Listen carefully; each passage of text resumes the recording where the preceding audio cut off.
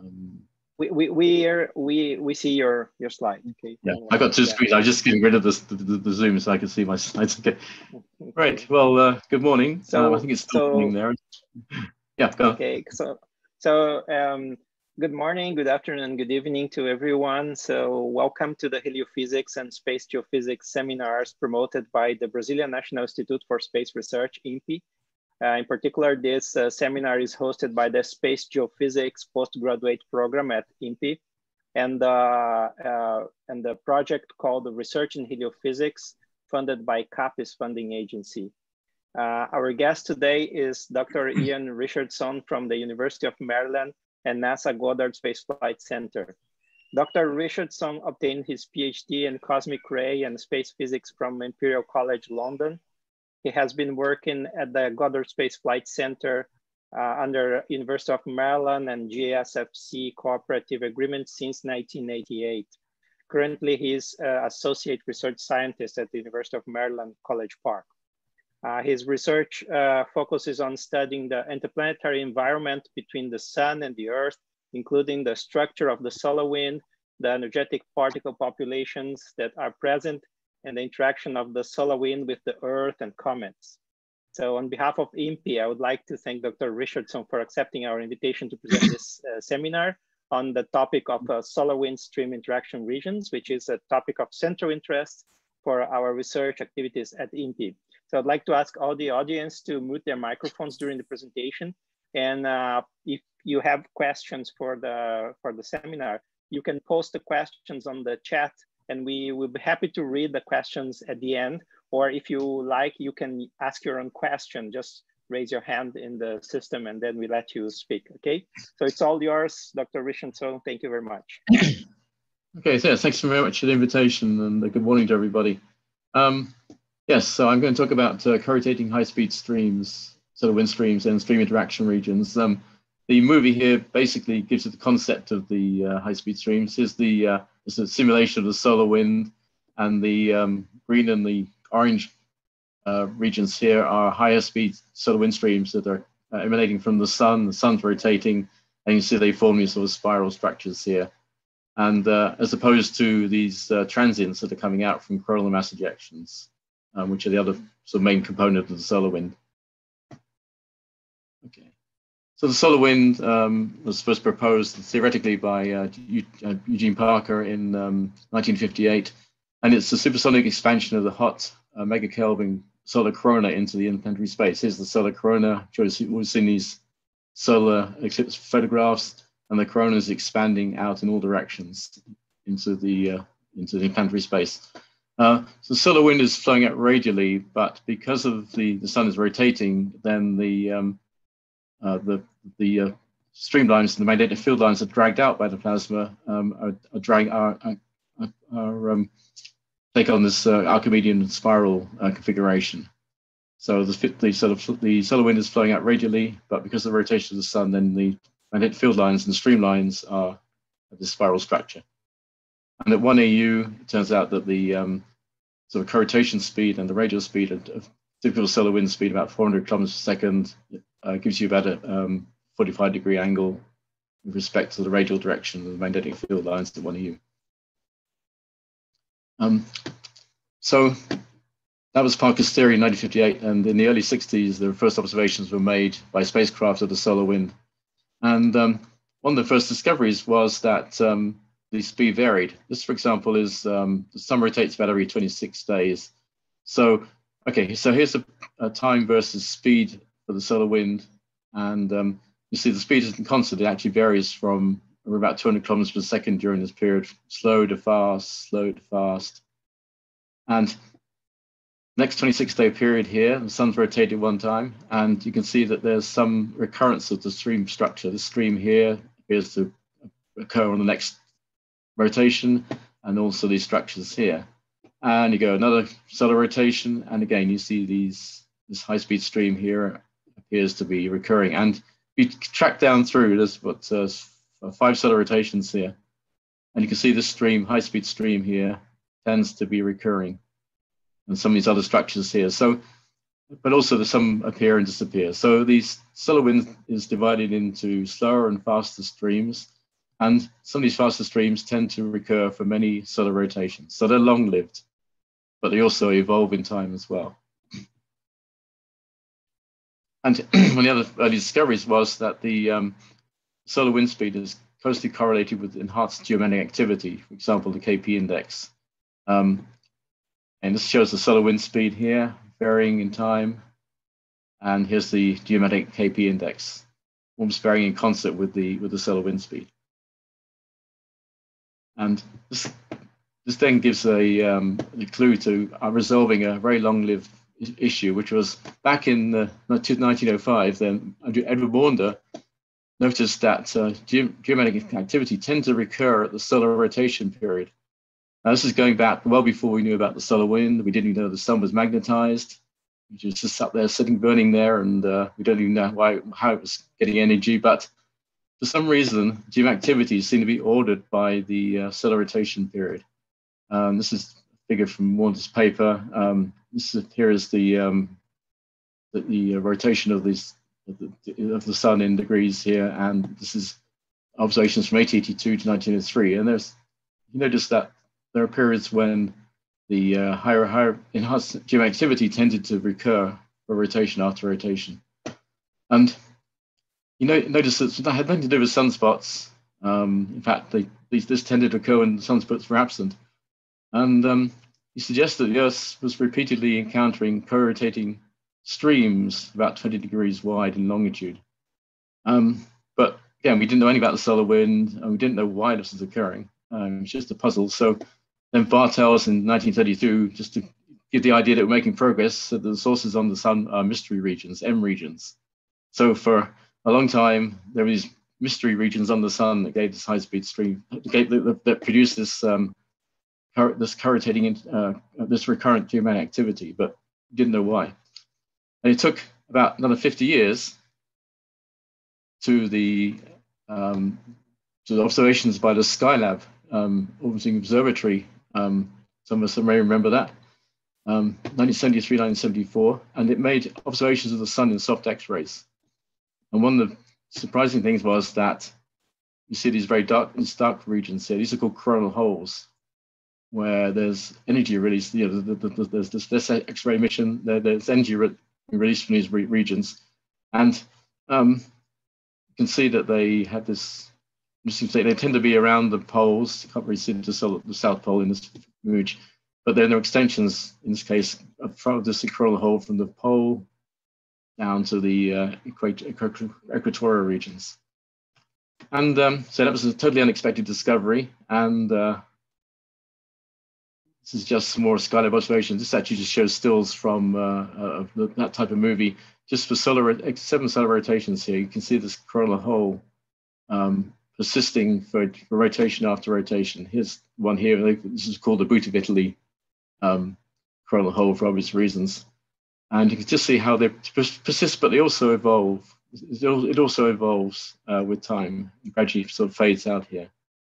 Um, and some of the evidence that this, this is this, this, these coronal holes are associated with high-speed streams, then this is, just shows the uh, plot of X-ray intensity and the solar wind speed uh, mapping mapping those spirals back to the sun to determine where the where the where the flow high-speed flow is leaving the sun on. Uh, this is the uh, longitude here, and you can see where the uh, X-ray flux is lowest, which is the coronal hole there. Then the solar wind speed leaving the sun is actually the highest. Um, so let's say it took right until 1973 before we actually discovered how that recurrent activity and these uh, related to features on the sun. And uh, just gives another another idea about so so you've got a coronal hole here and you get the high speed stream, high speed flows coming out from this coronal hole. And it turns out when you um, you can actually measure the magnetic fields on the sun now, we know clearly know it's magnetized. And you can actually uh, use a model to extrapolate the solar photospheric magnetic field into the corona. And it turns out that where you see these coronal holes actually tend to get open field lines, which are open to the, uh, to the solar wind versus these closed field lines that go back to the sun. So you get the idea that sort of energy is released, released here and the plasma can flow out easily on these open field lines, which give you this higher speed flow. So now we, uh, we routinely uh, measure the, the magnetic field and using the sort of plot I showed you on the previous page and also here, we can model the, use the measurements of the solar magnetic field, uh, first magnetic field to model the uh, fields. There's a model here from Predictive Science in uh, San Diego. And you see there are regions where the solar field, field lines are open and there are other ones where regions where the field lines are closed. And what these modelers do is actually identify the, uh, the regions of open field lines as coronal holes and uh, use a map which shows the um, coronal holes here. This is uh, long latitude versus longitude on the sun. And you can see the, uh, the polar coronal holes I mentioned just now where the field lines are open up here. And uh, they have opposite polarity. This is um, outward on the northern pole in this time and inward here. And then you can see these equatorial regions, which are sometimes extensions of the polar coronal holes. And sometimes you get coronal holes which just seem to appear in the equatorial regions, just, you know, just isolated from the polar coronal holes. So, and the green marks here are actually where the uh, have actually said if, you, have got a, uh, if you, you're the Earth and you're um, you map your field lines back, to spirals back, and then you can actually connect. You can actually indicate which coronal hole the solar wind is coming from at this particular times as you go, as, as the sun rotates and the space and the Earth or the connection point goes through uh, across the plot here. And sometimes you can see we can actually be connected up right up to a polar coronal hole, even though we're at, at the Earth, at the, you know, the ecliptic. So that's the, the sources of high-speed streams. what happens when a high-speed stream goes out into the into the solar wind? Um, now it's it's going to have slower solar wind ahead of it, and you've got fast solar wind um, coming up behind the slow solar wind. You're going to get a compression region formed as the uh, slow and fast and slow solar wind interact. And because of the rotation, these compression regions tend to form a spiral structure. Um, down here are some signatures of the uh, typical profiles in different solar wind parameters uh, around rotating interaction regions, as these are called. So here's the solar wind speed. And uh, where the solar wind uh, speed is increasing here, you get the compression region. You see an increase in the density, the magnetic field strength. There's a deflection in the flow as the two flow regimes interact. Uh, tends to go uh, west and east and there's also an increase in the temperature due to compression of the plasma, as well as the uh, the, the, temperature also varies in, in solar wind anyway. The, the, the faster solar wind tends to have a higher temperature, but you get a little bit more compression and heating in these in the interaction region. Um, there's one other feature here. You can see the density profile here is actually denser on this side, then it drops in the middle of the interaction region and then goes down. This is because the faster solar wind is less dense than the slow solar wind. So you get a higher density on in the leading edge of the CI of the interaction region, and then the sudden density drop here is actually where the inter where the slow and the fast stream um, plasma are is um, are, are, are, are, meeting each other. So it's the what's called the stream interface here. And then you see the lower density in the in the high speed stream. So that interface is that in the center of the interaction region is actually an interesting feature that uh, you can often see. Um, now, because the interaction region is tending to expand into the into the ambient solar wind, then it turns out if the, the, uh, the, the, expansion speed is fast enough, basically above the magnetosonic speed, then you can get a, form, a, shock, a shock, formation at the, the, the boundaries of, this, of, the interaction region. And uh, this is it turns out this is more favorable beyond, beyond 1 AU. Um, and you get a forward shock, which, uh, which is propagating away from the sun, formed at the leading edge. And then on the trailing edge of the interaction region, you can get a reverse shock, which is actually propagating towards the sun in the frame of the solar wind. Um, so that gives you a basic uh, schematic of the interaction between slow and fast solar wind. You get this formation of these, these Archimedean spiral approximately uh, interaction regions. Um, it tend to be called co-rotating action regions, but some people like to call some if you only usually, as I mentioned before, you see these streams re recurring for several rotations, but sometimes you just see it for one rotation. And some people like to call those stream interaction regions because they're only seen once versus co-rotating interaction regions which you see many times. And some people worried about that, that difference and some people don't. And um, you'll see that both terms used in uh, in papers, um, CIR and SIR, but really they're sort of the same thing. That's a schematic. Here's a lot of data. I'm sorry, it's a very busy slide, but I'll just walk you through a few main points. This is um, solar wind parameters for, for one solar rotation, about 27 days I've got here. And um, start with the solar wind speed here. You can see the, the, the slow and fast streams that I've already mentioned. And for each one, you'll see, this is the plasma density, you'll see increase in density on the leading edge of the high speed stream. And if you go way up here to the magnetic field intensity, you'll see the increase on the on the leading edge associated with the interaction region. Um, and here's the temperature again, showing the profile with the higher temperatures in the in the solar wind speed in the in the higher speed stream. Um, you can see the interaction read the uh, stream interface quite nicely in some of these interaction regions. For example, um, this is probably the best one You can see the high density going down to low density. And um, again, here, density is dropping down, the temperature's going up, the speed's going up. That's really the boundary between the slow solar wind and the fast solar wind. And again, here, the density drops less, less clear in this one. um, another feature you can see here is the um, this is the direction of the um, the interplanetary magnetic field in the azimuthal direction. So this is um, it's directed outward from the sun. Check out here, outward from the sun, or going inward towards the sun. And see it tends to have you know one direction or the other. Um, and each stream tends to have one polarity, which uh, is determined by the polarity under in the in the photosphere underlying the the source coronal hole. So you see this this one here has outward polarity and this one has an inward polarity because they're coming from two different coronal holes. And this one here has outward polarity. and you might notice that the uh, polarity is actually change, tends to change just before the interaction region or actually just inside the interaction region. And I'll explain why that is in a minute, but it's quite a common feature. Um, there's some other things of interest here. This is the cosmic ray, galactic cosmic ray intensity um, these down here measured by, um, this is actually measured by the IMP 8 spacecraft, and this is by a neutron monitor, 2D, 2D neutron monitor. You can see that the uh, cosmic ray intensity tends to be depressed in the high speed streams. Um, it's almost a sort of mirror image of the solar wind speed. You can think of actually the, the fastest solar wind is actually sort of sweeping out the cosmic rays at some level.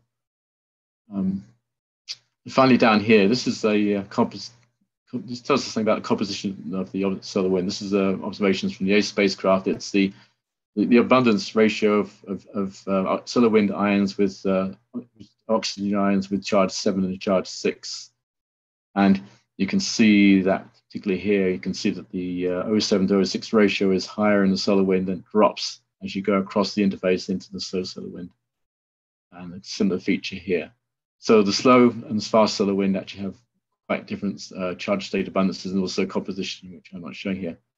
Um, so there are two, sort of, two fundamentally different states of the solar wind. Um, you can see the you can really see their transition as you go through the interaction region here.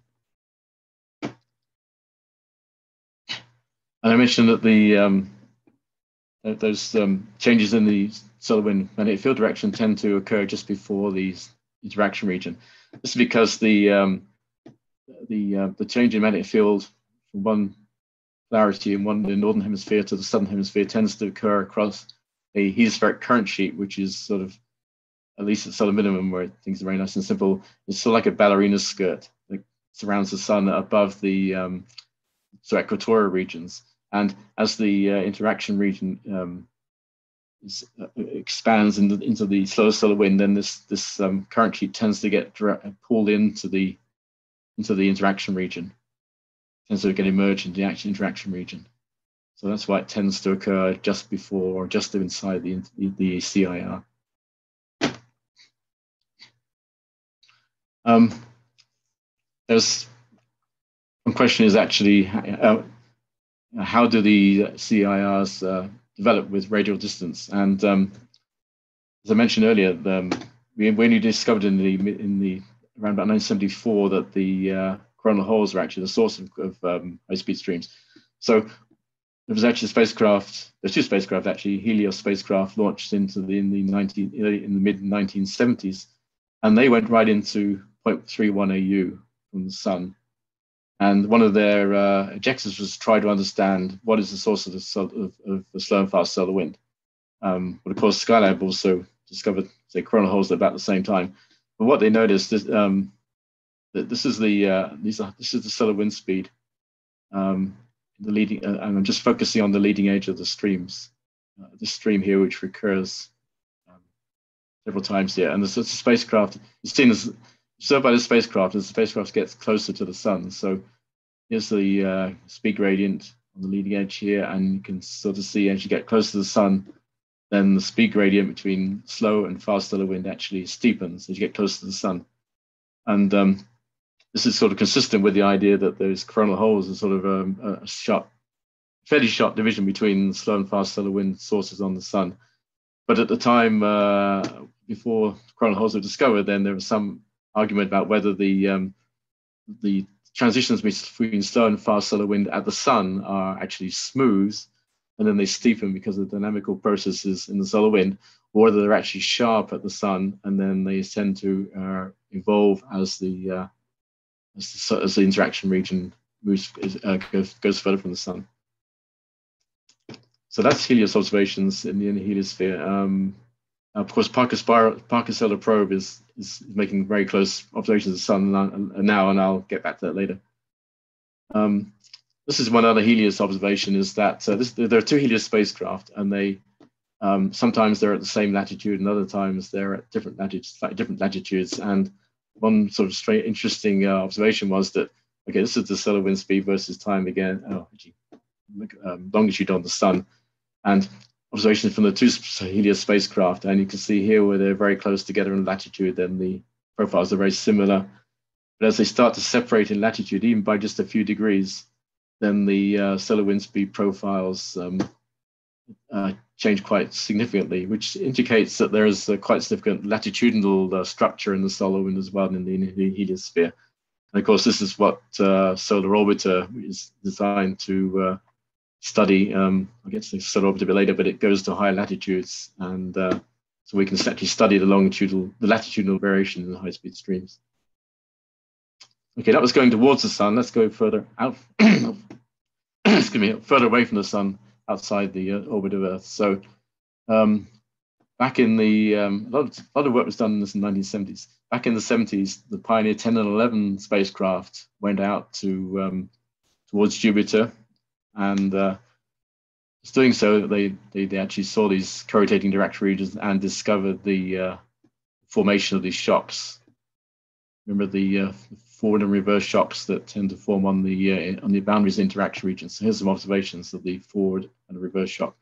Reverse shock is um, a forward shock has an increase in speed and density and uh, field intensity here, and the reverse shock has this increase in speed, but speed but a drop in the, in the magnetic field intensity.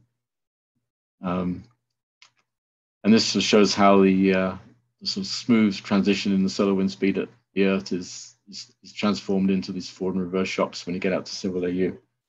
Um, this is also a model showing the same idea. Um, and these are actually observations of the same, same uh, high-speed stream at uh, the Earth, the speed profile, and you get out to 4 AU, then you've got this, this very different profile. This, the, you get the shocks formed, and also the speed has dropped. The peak speed has dropped considerably because the expansion of the uh, of the CIR tends to erode the, um, speed difference because it's it's always pro- it's propagating into the high speed flow, and that reduces the peak of the of the of the high speed flow. So eventually you get a a much uh, flatter speed uh, speed profile.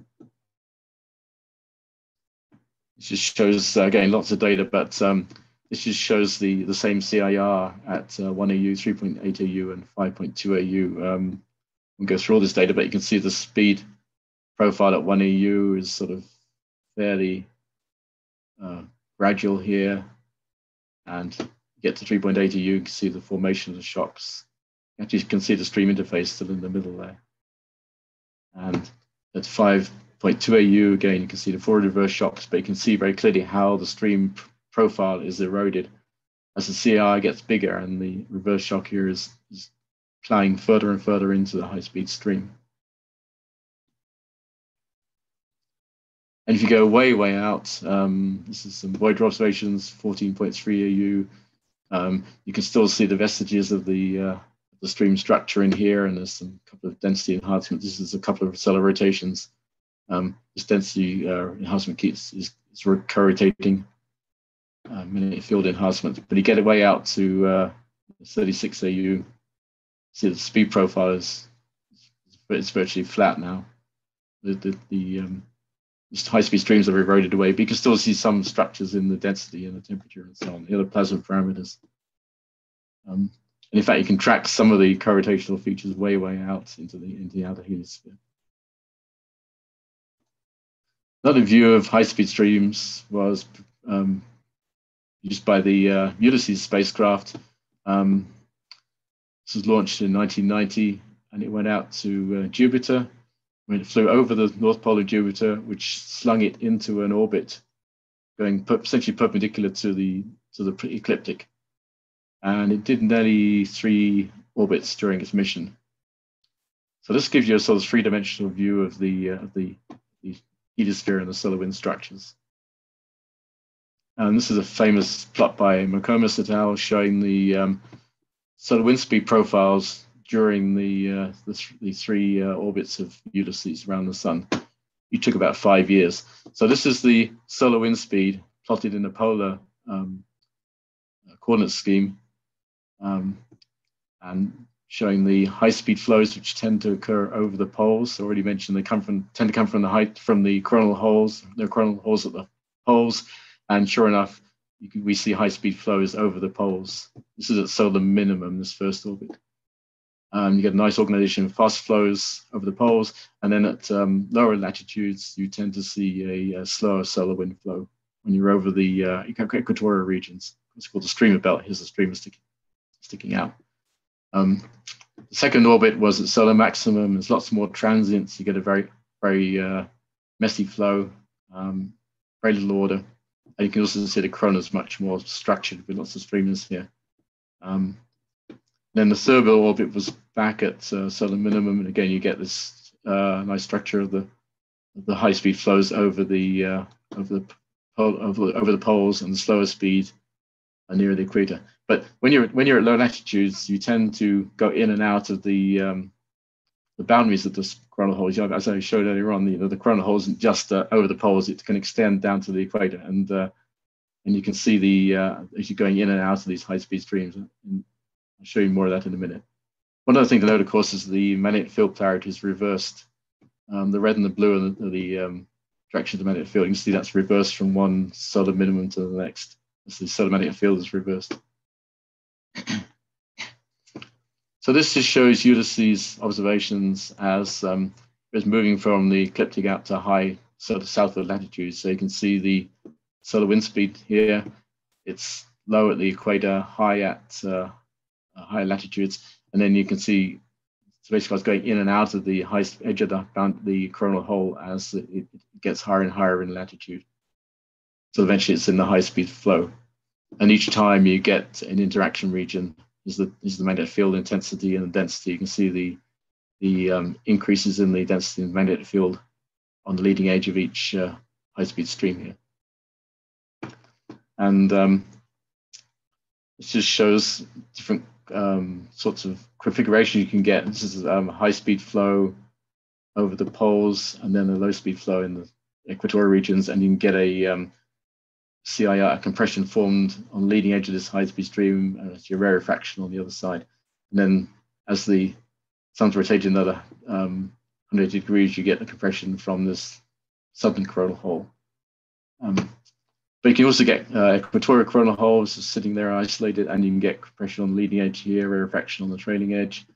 Or this is a um, extension of the sort of polar coronal hole. You get see a compression formed on the leading edges of these extensions. So different combinations of um, uh, configurations of interaction regions you can get depending on the coronal hole configurations. And um, they turn out to have different orientations in um, in, in, in, in, the north-south direction. Ulysses was able to actually uh, measure some of these uh, tilts in the CIR orientations um, uh, caused by the different um, coronal hole configurations. So it turns out one of the interesting features, at my point of view, is uh, someone who's interested in energetic particles, is actually that uh, um, co-rotating streams can actually accelerate and uh, can accelerate energetic particles. Um, course, most this is, shows the solar wind speed and then the flux of energetic particles from um, it's from IMP 8, I can't remember. You can see the the um, intensity of particle the particle intensity varies with time, and most of these uh, increases are due to solar flares and coronal mass ejections on the sun. But there's some interesting uh, enhancements here which actually don't seem to be associated with um, solar activity, and they tend to occur at the solar rotation period and they tend to be within the high speed streams. And um, when these were first discovered, the, the, idea was sort of obvious where you've got open fields on the sun, letting the high speeds flow out. Therefore, these must be solar particles that are you know, left over from these um, big particle events. They're just sort of stored on the sun and then they just drizzle, they just leak out along the open field lines that are you know, predominantly, in, and hence they're seen in the high speed flows. Um, that idea lasted for many years until, um, as I say, back in the 1970s, we had the Helios spacecraft and the, this is radio distance versus particle intensity. We had observations from the Helios spacecraft, spacecraft at Earth, including IMP. And then there was a Pioneer 1011 spacecraft out at AU. And um, what we realized was that if you looked at the same, looked at these particle events and seen the high speed streams at different radial distances, then it turned out that they were actually less intense in the inner heliosphere near the sun, and they were most intense at several AU where those uh, co-rotating shocks are formed.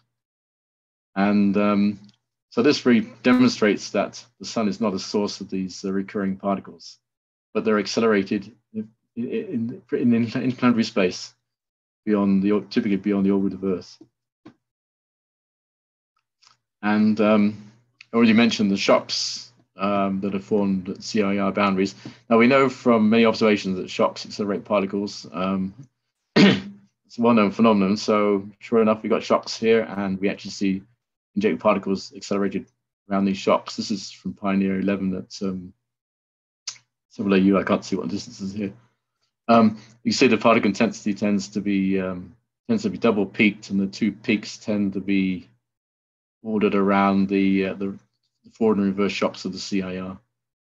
It's not a case again, got double peak. And the, um, the, the, the, trailing edge peak uh, tends to actually be uh, a bit more intense generally, not necessarily in that case, but tends been more intense. It actually has a different um, comp uh, composition. This is the helium to proton abundance, um, tends to be higher in the, um, it's the it's the proton. Oh, I've written this wrongly. okay, it's, yes, it's, there's more helium in the uh, in the, the, reverse shock event than the forward shock event, um, which actually is, is, is, actually an indication of the source of these particles, where they're the source that they're accelerated from. Um, so, so the idea then is that uh, you can trace these particles that are um, observed that are observed in the uh, outer heliosphere, say at several AU. You can then trace the spiral structures back to this is Pioneer 11 at 4, then go right back to the to the uh, one AU, and you can actually map the um, you can actually see the corresponding uh, uh, enhancements that are seen at Earth. Um, unfortunately, the people who wrote this paper actually did didn't quite do it right. For some reason, they map it back to the solar events here, which sort of doesn't quite fit with the picture. Um, but if I check this, they, actually should go back to these events here. These are actually the co-rotating events uh, that are generated by the uh, that originate at these uh, CIR shocks uh, beyond uh, 1AU. so the idea is, yeah, you've got these shocks in the outer heliosphere, and then the particles um, They, they, they flow back towards the sun. And um, further evidence says this is uh, um, these are actually particle events I, I, studied years ago, and actually I, I, you can on the ISEE 3 spacecraft it was spinning, and you actually could measure the number of particles that were coming into the detectors in different directions. And um, this actually the, the the anisotropy here tells me actually these particles are coming towards the sun on the magnetic field direction. So all these particles here are, are coming in towards the sun from the high speed from the um, shocks in the outer heliosphere. But there's actually a problem in that picture because um, they're actually, um, as the particles come in from the outer heliosphere, they should lose energy because they're sort of fighting against the outflowing solar wind. So these very low energy particles actually will uh, lose energy, and the spectra you should get something like this is the intensity of the particles versus energy. Um, it should actually turn down at low energies, um, particularly the source is very, very far away from the many, many AU from the, from the Earth.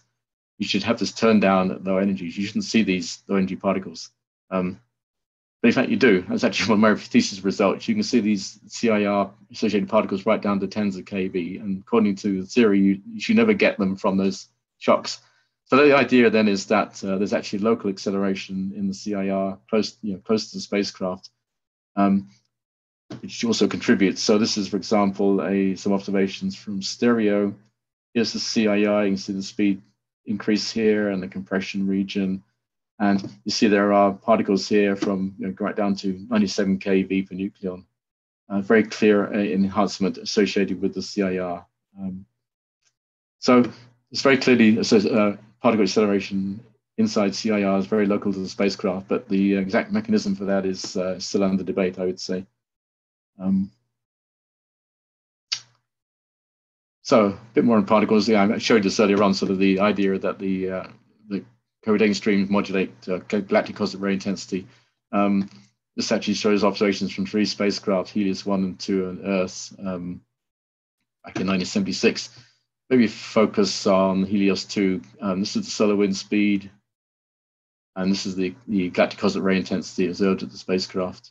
And you can see how actually the it's almost like a mirror image between the solar wind speed and the uh, uh, inverse mirror image between the solar wind speed and the galactic cosmic ray intensity rays clearly see how the fast streams will sweep out the cosmic rays. And um, okay. Oops, sorry. So let's go to geomagnetic activity again, where I started. Um, this just shows the um, two rotations, two solar rotations worth of data, solar wind uh, parameters, and also some um, activity uh, indices down the bottom here. This shows a period in 2003 where there are nice solar wind stream structures here. You can see the CIRs again. And you can see the AA index, geomagnetic index KP, um, very nicely correlated with the solar wind speed, which I showed very early on in the talk. And then DST, which is uh, inverse, stronger as negative. So that also is going along here.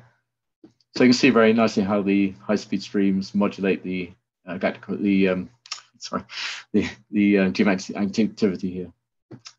This is a read period in 2009, and you see the stream structure is very weak. The solar wind speed, there's very few, very small changes in the in the uh, speed, no high speed streams. So you can see actually see, see a couple of CIRs, even though the speed is quite slow, still actually interaction. Uh, geomagnetic indices, you can see are much weaker, much quieter, um, than over here. So a very nice demonstration of how the streams streams uh, modulate the, um, the, the activity. So you, you think from that figure that the speed is actually the what's actually called, uh, modulating the activity, but actually it's a bit more subtle than that. The um, what happens is that the um, high-speed streams actually have Alfvénic fluctuations coming away from the sun. The, the field is never is always is always fluctuating on timescales of say an hour or so. Um, it's, so it's fluctuating around in direction, and occasionally the, the magnetic field will go south. And when it goes south, then you tend to get enhanced human activity. I'll explain that why that is in a second. So here's this high-speed stream, and here's the uh, north-south component of the magnetic field, which is randomly sort of up and down. occasionally it goes south, and um, in fact, the um, VB is actually, a, in some ways, a more important parameter. Um, it's the electric field. Um, and you can see AE increases every each time that the field goes south. So it's not just the high-speed stream; it's actually the fluctuations, magnetic field fluctuations in the high-speed stream, which uh, produce this uh, activity. And because the solar wind speed can last for many days, then the AE, uh, for example, activity here um, can last for many, many days. And um, these often called HILDCAA events, high intensity, long duration, continuous AE activity.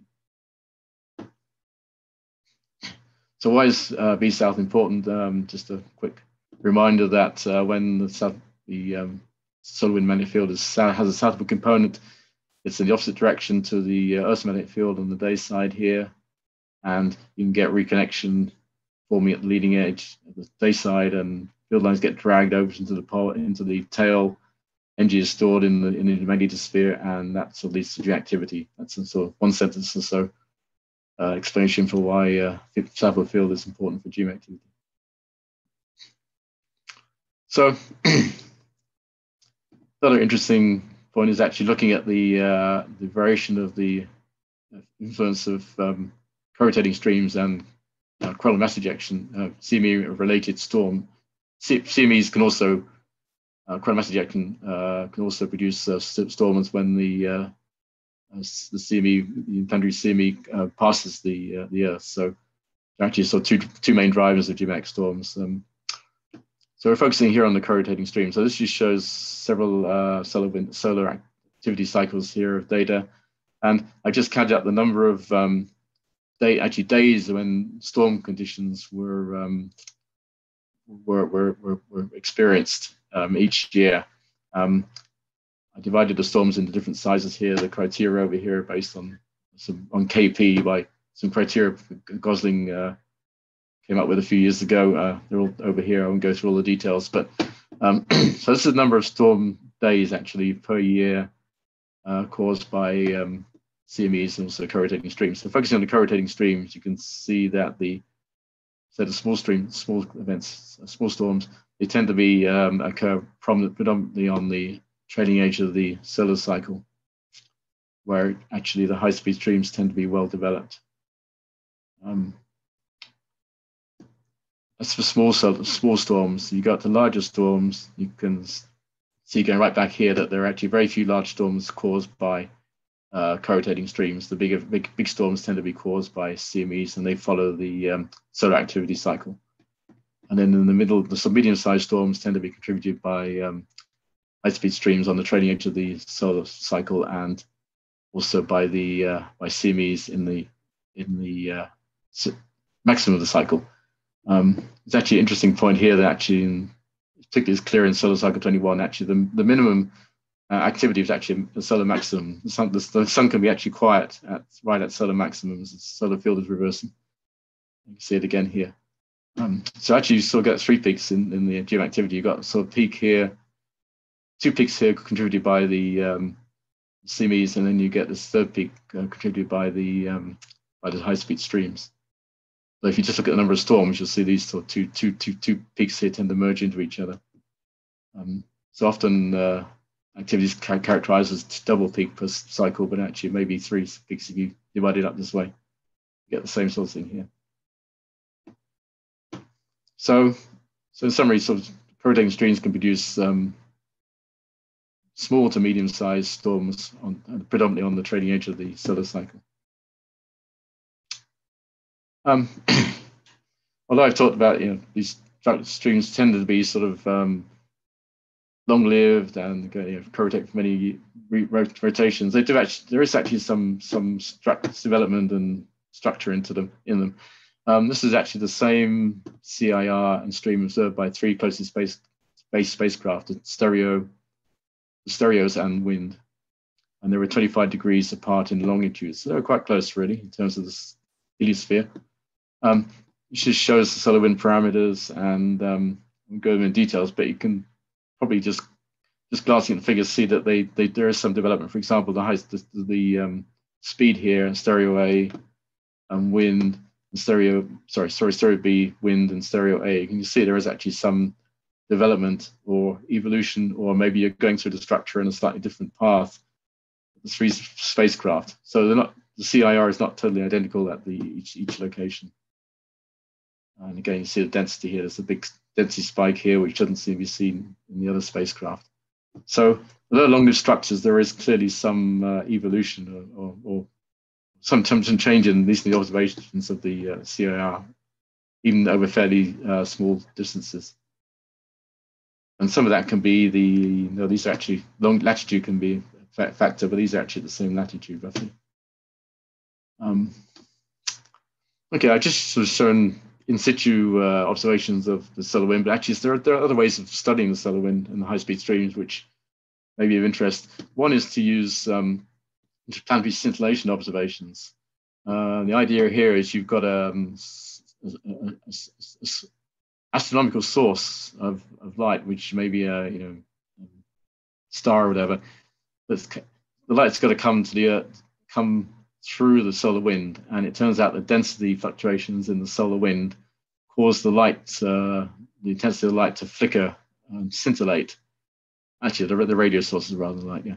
And so you've got two, observ- two observatories on the on the Earth. They they can they'll see the um, they measure the intensity as a function of time. There'll be a slight shift as um, as the um, the solar wind moves across the the field of view of the two, two, the two observatories. And you can actually work out the, uh, do a correlation, actually work out what the speed of the solar wind is across the, um, across the plane of the sky there. And also get the density. So what, um, particularly Bernie Jackson down at, um, at um, in, um, California is actually um, used the, the idea of cat, uh, top tomography, which is use for CAT scans for um, X-rays and so on. Um, the idea is to get a, to build up a three-dimensional picture of the um, of the solar wind using these line of sight uh, IPS observations, and so this is just sort of a, a, a, um, a, visualization. It's actually a movie, but I've just got some frames here of the of the solar wind speed based on these uh, IPS observations. And you can sort of see the uh, the stream structure here, and uh, this is say the movie, so you can actually see the streams actually co-rotating around the sun in these movies. They're quite fascinating. Um, but I say they're all based on this IPS um, observations. That's one way of looking at the solar wind in a different way. And um, another way that's um, solar wind studies you are, are involved is, is, another way of um, studying solar wind is actually to do do, model, do some modeling um, there are various different models that are used to do this. Um, they tend to use based on, I'm going to previously they tend to be based on magnetic field observations from the sun. And um, this is one that's called the uh, WSA Enlil model, which may be familiar to many of you. So this is the uh, solar wind speed that's observed, and this is the simulated speed from the model as a function of time. And the idea of this study here is actually to compare the um, comparative observed and the predicted um, speeds and other parameters as a function of time and uh, try and improve the models. Um, and there's actually different models that were studied in, in, in this in this paper, and um, it turned out that actually the the best predictions of, of um, high-speed streams actually based on persistence. In other words, um, you assume what's going to happen tomorrow is the same as today, or you assume that what's going to happen in 27 days' time is the same as today because of the rotation of the sun. So actually, the model, they're the best models in terms of predicting what solar wind will be uh, uh, versus the various uh, models that have been produced here. But anyhow, hope there'll be some improvements in that. Okay. So I mentioned Parker Solar Probe. Parker Solar Probe is, um, is um, I'm sure you're aware, a um, mission to touch the sun, as they like to say. Uh, it's going very close to the sun, got a big heat shield on it, and um, it's uh, doing pretty well. So far, it's launched in August 19, 2018, and um, this is actually data from the first orbit of the of, around the sun. It went right into uh, 0.61 AU, so far closer to the sun than the Helios spacecraft. Um, this is just a summary of all the solar wind parameters through the, uh, the um, first pass. Here's the radial distance. You can see the, for example, the magnetic field intensity getting stronger as the, as the, as the spacecraft approaches the sun and then falling again. Uh, likewise, the solar wind pressure uh, density. Anyhow, the um, so there are some um, solar wind high-speed streams bedded in this data. They're supposed to be here where the gray gray curves are. Um, the gray gray shading is there's one there, I guess. Another one there. Another one there. I think I think actually it's the, the CIR they're actually indicating something. The, the main stream is actually there. Another one there. Um, so Parker is seeing CIRs. Um, I, um, they're, they're, still writing the papers and so on. So I haven't got, and I'm not really involved in it. So I can't really give any spectacular new results on that. But anyhow, there is actually one interesting feature here. This is the, uh, oh, this is this is one with representation of the data. You can see the the this is the different colors are the, the solar wind speed here, and the red is the fast stream. So this actually shows the sort of configuration of the, um, the spirals that uh, representing the, the high speed flows. This is totally unrealistic because the as I mentioned, you don't get this doesn't take into in, into account the interactions. All these spirals are plotted over each other. There should be interactions, of course, but it gives you an idea of where the high speed flows are that Parker's seeing. And one interesting feature of Parker is that during this orbit for a short period here, it's actually um, rotating in opposite. It's um, its speed is so high that in fact it's actually staying. It's actually going backwards in longitude on the sun relative to normal uh, situation. So actually, one stream is seen here, and I think it's um, let's see, where are we? This one here. And you know, so most of the streams I've shown you but all the streams I've shown you have, have, a, have a rapid rise on the leading edge and then a decay. But this one here actually has a, a sort of slow rise and a rapid drop. And I think that's because the, um, Parker is actually going, moving the opposite direction um, during this period here. And it's seeing, it's, it's transversing, it's, it's going across the stream, stream in the wrong direction, as it were. So I mean, certainly Parker is giving us some the observations of CIRs. This is actually one paper that's been comparing a uh, CIR stream seen by by Parker and also stereo. And this is solar wind speed and density and so on. And you see one problem, unfortunately, is that Parker has these gaps. And you can clearly see the stream there and make some comparisons. They've actually scaled the observations by these factors here. Um, so Parker's clearly seen the same stream, but because of the gaps in the Parker observations, it's a bit hard to actually make any definitive conclusions about you know comparing these two streams. Um, there's some particles shown down here. This is a representation of the particles seen at stereo, and there's actually also seen some um, particles seen in associated with the CIR by the EPI-LO instrument on Parker. Um, this is actually some particle spectra at stereo which is at 1AU and also at Parker. And you can see that the intensity is lower Parker than stereo, which goes along with what I the, the Helios observations I was discussing earlier on, where the intensity of the CIR associated particles tends to drop as you go further, uh, closer to the sun. And finally, um, Solar Orbiter, uh, again, it's just um, it's launched last year. Um, the first, you know, first papers on the first observations are coming out. This is actually a figure from one of them um, this shows a, unfortunately, the um, plasma experiment on, on, on solar orbiters had some issues. I wasn't working at the time these observations, but this shows some energetic particle observations. I won't go through all the details, but uh, here's this, here's the um, here's the magnetic field intensity. Um, they had to use the radio instrument to get a density out. That's the way of doing that. Here's the density, and here's a, a, a rough idea of the solar wind speed again from the radio observations. Again, I'm, I'm going to why they how they get that, but um, so there's indication this is a CIR, and um, here's some particle enhancement associated with the CIR. And people who wrote the paper actually noticed that it's actually very like one I published based on my thesis years ago. Um, it's a 1979 event. Here's the uh, here's the solar wind speed, the CIR, and what I see is a is a in, in, increase of lone ions inside the CIR, and then there's the a very a different population seen in the high-speed stream. It turns out these are the particles that are flowing towards the sun from the reverse shock, it looks like. But there's a separate population here in the CIR, which appears to be accelerated locally. And that's sort of similar picture you have here. There's an increase here in the CIR, and then there's this other population here, um, which is flowing towards the sun. So anyway, again, solar orbiter, first results there, and hopefully we'll provide lots of new information on the uh, structure of the solar wind streams in the inner heliosphere. Um, there's a whole load of, maybe I won't go through all these questions. okay. Yeah, so there's still a lot of questions about, um, about um, CIRs and high-speed streams, particularly what's the latitudinal structure, which hopefully Solar Orbiter will provide information on, uh, their variability on different spatial and time scales. Um, there's actually interesting features that um, I mentioned the uh, current sheet, and there's some indication that actually transient structures can come out along the current sheet and make so you've got a transient. You might have a transient component in these long-lived um, high-speed uh, CIRs.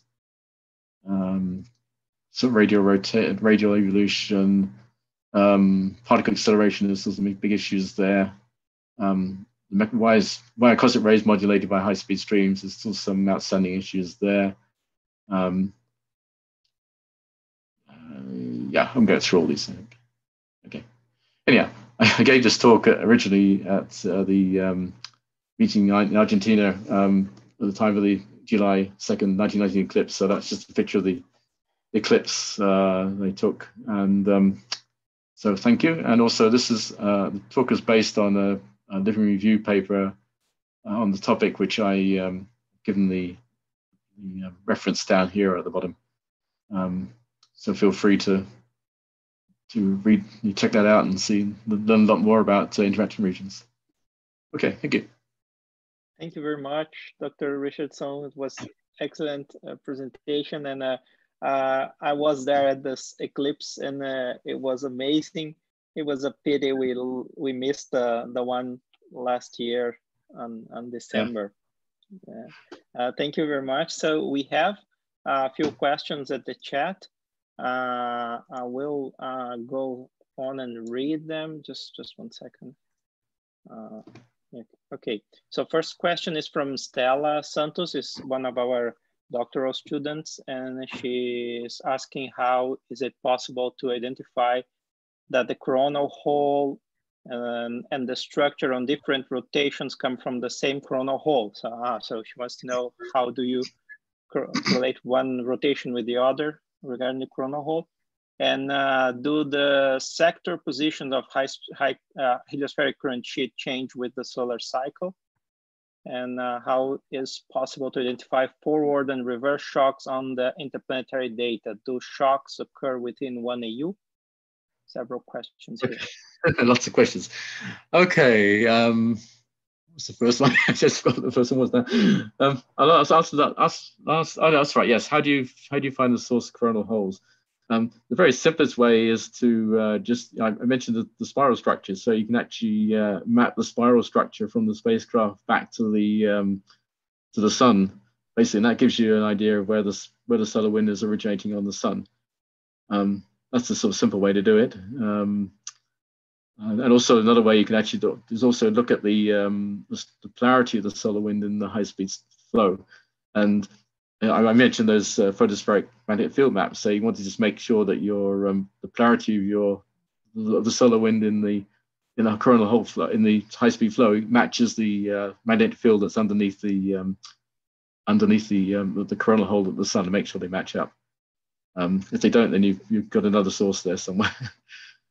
Um, so the, the other one was um, about identifying forward reverse shocks in the solar wind. Um, yeah, forward shock tends to have increases in the, well, has increases in the solar wind speed, density, temperature, and magnetic field intensity.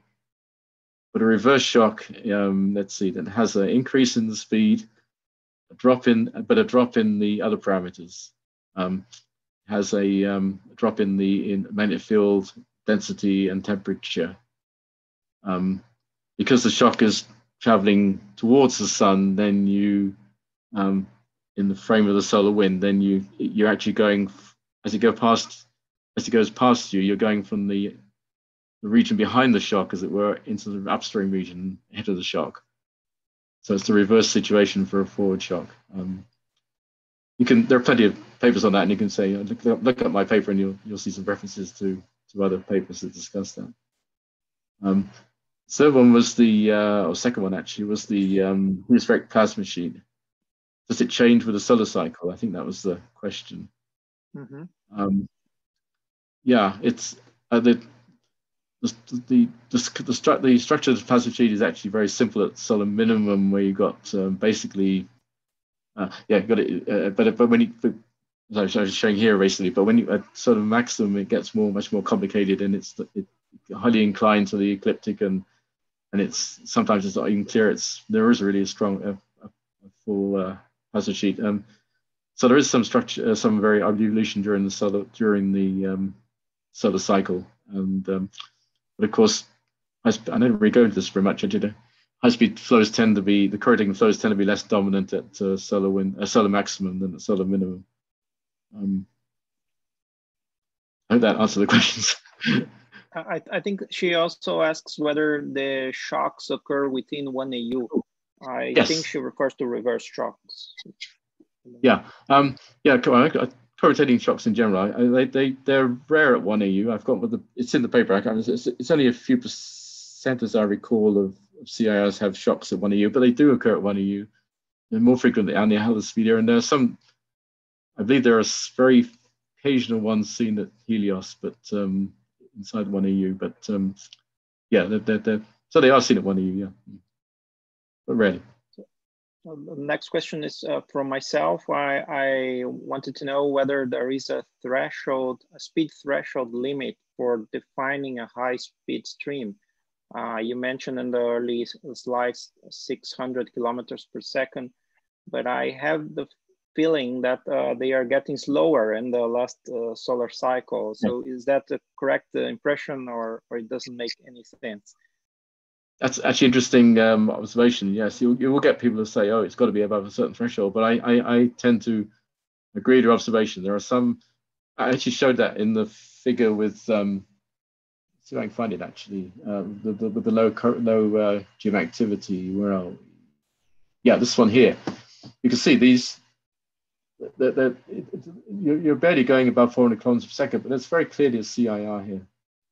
It has all the features, it has the densities going up, field's going up, there's a temperature increase. Um, the um, current is a bit further ahead. And uh, might even say maybe there's even one there, or certainly here. See the temperature's going up. Looks like that's sort of like a coronal hole flow, but just the speed is much slower. And I, I, I tend to agree. I think I think it's hard to define a, a minimum uh, or a, or a threshold on that. Uh, a lot of people do, but I think it's more settled. And I've, I've heard other people who see these very slow flows, and they call them uh, Alfvénic slow flows. But I think they're they're um, they're actually maybe you're just going through the boundary of a, of the coronal hole, or or just maybe sometimes the flow is very slow. I'm not really sure about that. Um, Thank you.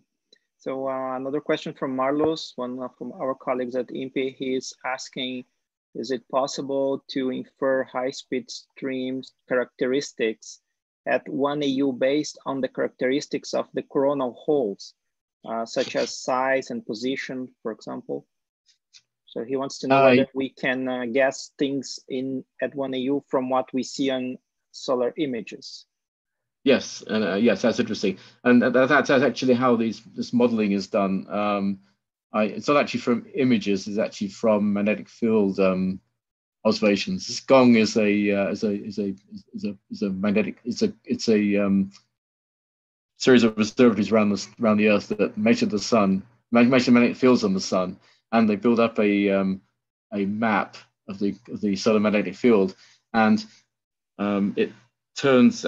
And so then I mentioned earlier on, you can actually use the mapping, use some modeling to indicate to infer where the open field regions are in the sun, where the coronal holes are, and it turns out there's a relationship between the expansion rate of the magnetic field and the and the solar wind speed. In fact, this is um, WSA here is Wang Sheeley Arge, which is a model that's uh, empirical model that that that uses the expansion rate of the magnetic fields to actually infer the, the, the solar wind speed.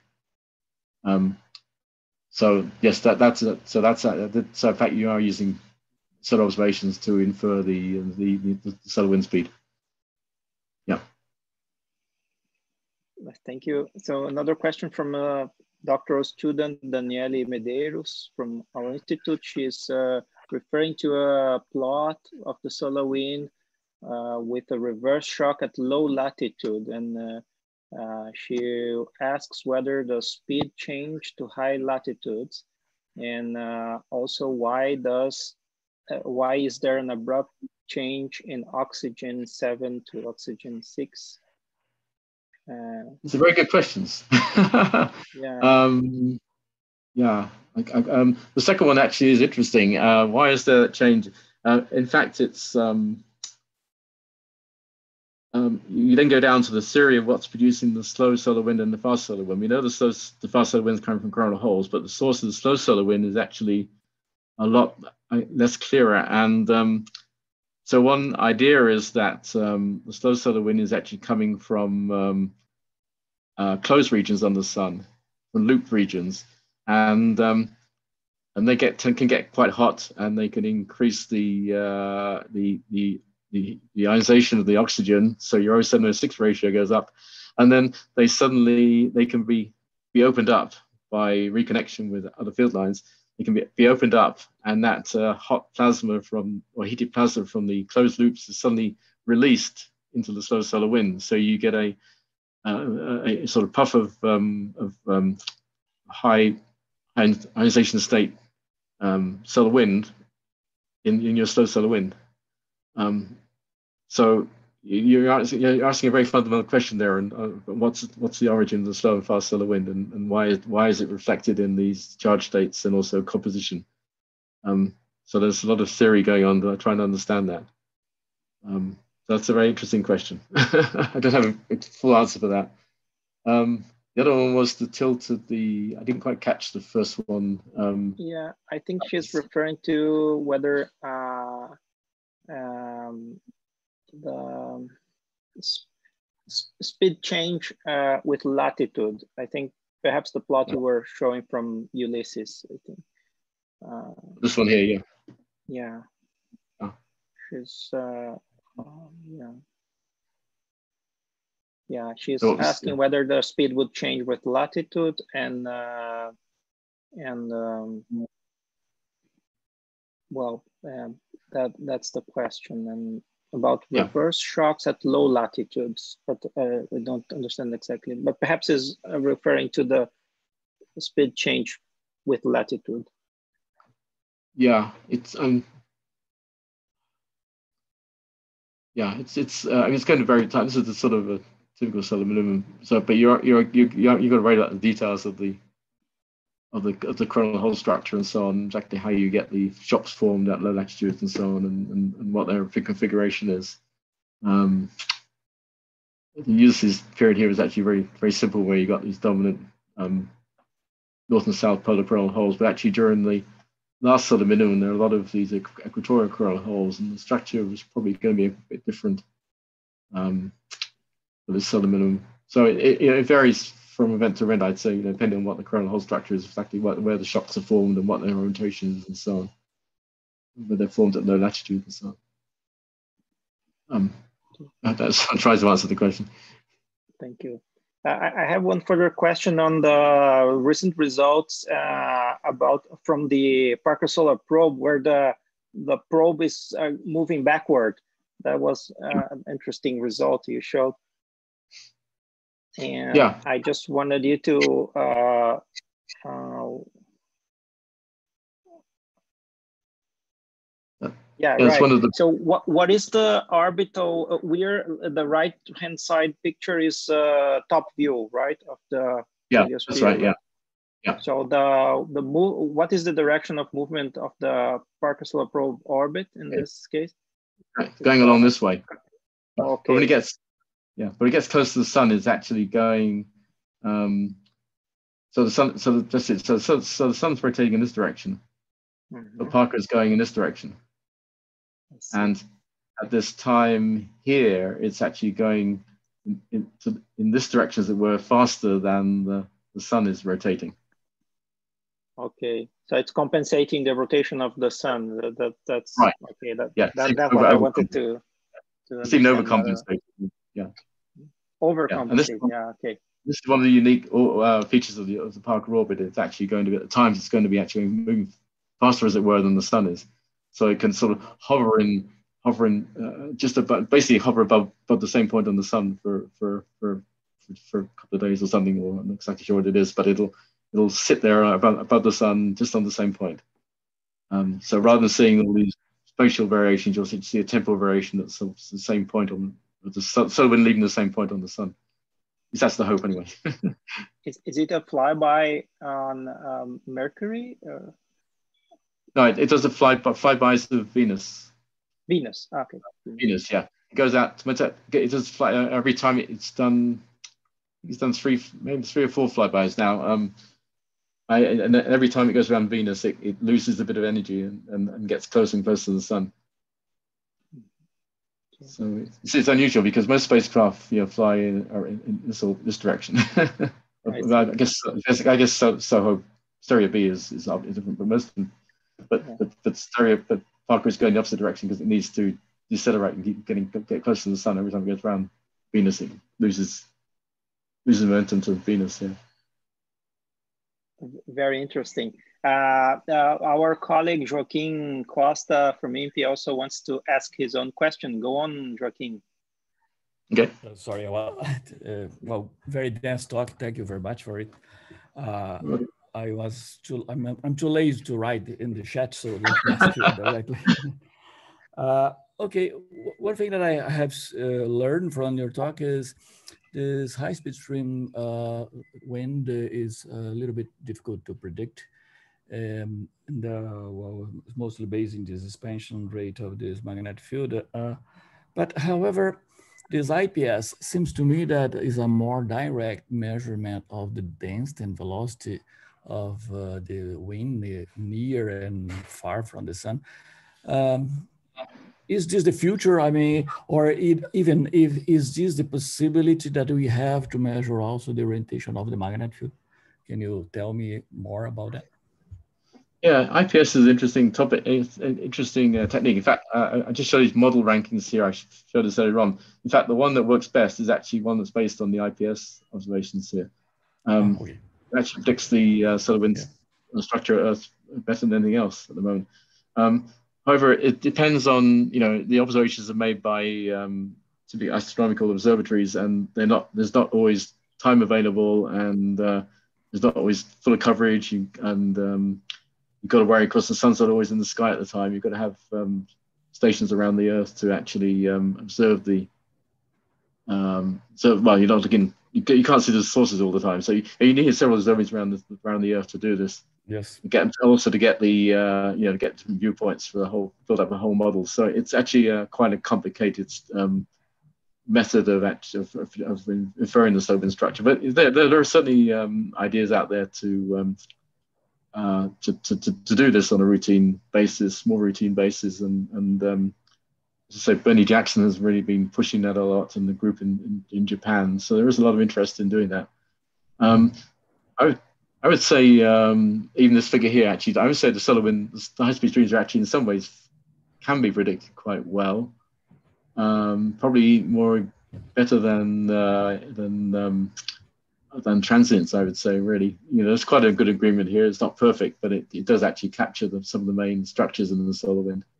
Um, and there's still development of this process. So, um, and part of it, part of the problem is that you're using um, magnetic field maps of the sun and you're doing them from the Earth usually, um, sometimes from a spacecraft. And of course, you only when you, when the uh, you, you can't see what's happening on the far side of the sun, and so you're you're if you're using your maps or some parts of your maps are going to be even up to 27 or the um, um, a rotation uh, um, out of date. So when you're trying to build up a global picture of the solar wind, some of your magnetograms are going to be out of date and they won't reflect the evolution on the sun that could influence the modeling. So, um, so that's one of the limitations on modeling, um, the, the age of the magnetograms that you're using. Um, for example, you might have um, you've got solar wind coming around the eastern hemisphere, you know, just coming around the sun on the eastern side, but the magnetogram for that area region is probably, is probably uh, taken um, you know, 14 days earlier when the same region of the sun was just going around the western hemisphere, western limb. Yeah. Um, yeah. So that's one of the big limitations in that. Okay. Okay. Thank you very much. Okay. Yeah, I think now uh, Luis Eduardo Vieira, our colleague at INPE, also wants to ask his own question. Okay. Go on, Luis. Hi, uh, thank you very much for accepting our invitation. Hey, I, I, have a question. I have a question about a slide that you show. You compare the STEREO A and B to windy in a small scale. I uh, so you, as as far as I understood, there is some structuring uh, even in small scale, no? Yeah, this is, this is the figure here. Exactly. Yeah. So yeah. I, I, am uh, wondering what would be the best position of an observatory to study the coupling between the magnetosphere and the solar wind. I, I guess that the observatory at, at L1 may not be the best uh, one located, no? Um, depends what you're um, doing. So yeah, I mean that's um, in terms of um, co-rotating events actually, and the idea, one idea is actually you can have a, a spacecraft to the east of the Earth, for example, at L5. Let's get L5 informing L5, I think this. Um, oh, so that you actually can measure the uh, high-speed streams before they arrive at the Earth. And in fact, this is what part of this idea of this study is: can you can you um, forecast the structure of a CIR Earth based on observations, say, from a spacecraft that's over to the, like STEREO B, uh, B here, which is over to the east. So it's, it's so it's observing the uh, CIR before it actually gets to the Earth. And part of this type of study is to say, well, you sort of can, but it doesn't. You don't get precisely the same structure of the two spacecraft. So, so um, um, so, so that's so in terms of um, say for co-rotating events, probably you need something out to the east. If you're looking at transit events coming out from the sun, CIRs and so uh, uh ICMEs, then um, you need something along more along the uh, Sun Earth line.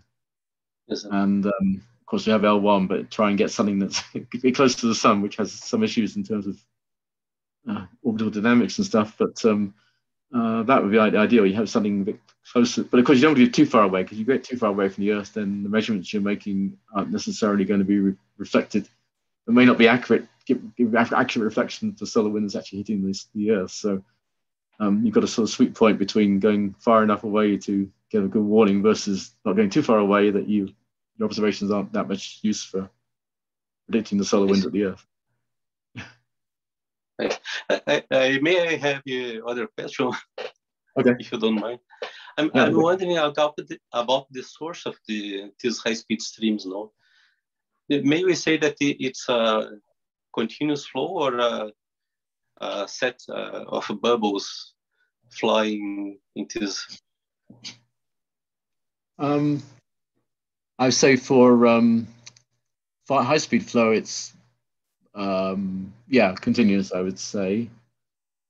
Um, because there is evolution of the high-speed flow of the coronal holes and so on. So in that sense, it's sort of transient, but on longer scales. But if you talk about the lowest, lowest, the slow solar wind, then that's an interesting question. There, there could actually be more of a bubbly structure. There, there are um, people who have talked about um, periodic density sort of variations in the slow solar wind. There might be evidence for sort of um, bubbles of plasma being sort of continuously released, perhaps released from these loops that are opening up um, the sun. Um, so that has a lot, may have a little, much more in a homogeneous, homogeneous structure in the, in the, slow solar wind. Um, it's still not, not, something we're too clear about, I would say. Um, but yeah, high speed streams, yeah. I would say they're crazy. For, I'd say they're continuous, basically. Mas uh, continuous flow. Well, thank you very much. Yeah. So I think we we're out of questions now, and um, I with that I would like to um, thank again uh, the audience for uh, being here, but most importantly, uh, on behalf of INPE, I would like to uh, thank Dr. Richardson for presenting this excellent talk and on this very interesting subject that interests a lot here. And uh, so thank you very much on behalf of INPE and on our uh, Space Geophysics postgraduate program and on our research in heliophysics project. Thank you very much. Okay, well, thank you for the invitation. Thanks for the nice comments. I just looked in the chat here and see this. And thank you very much. Okay, well, hopefully maybe we'll meet in person one day, maybe. right, yeah. exactly. I hope uh, you were already invited to come and visit us when conditions are, are improved. Okay. Yes, so thank, thank, you. Okay. Then. Thank you very much. Stay, uh, uh, everyone, stay safe at home and as most um, the um, more most as possible. Okay. So. I second bye -bye. that. okay. Thanks. Take care, everybody. Bye. Then. Bye.